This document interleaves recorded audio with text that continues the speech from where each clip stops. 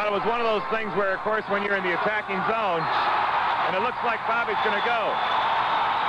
He may, well, you don't like to speculate, but I'm going to think, I'm going to think a minute, Steve, out loud, that Bob Nystrom might get a game misconduct for third man in. Let's see how they call it.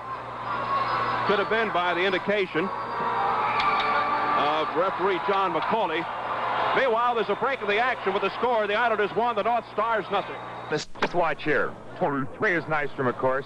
That's Hextall coming into him right there from behind. That, by the way, is uh, uh, Dennis Hextall. Now, Howatt, seeing this and seeing Hextall hit him from behind, then